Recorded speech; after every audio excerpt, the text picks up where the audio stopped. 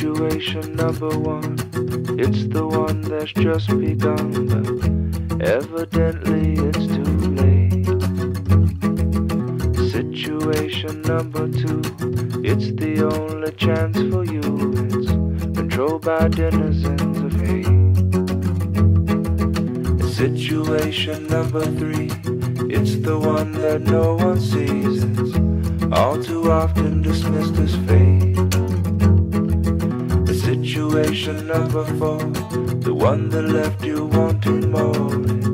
It tantalized you with its bait.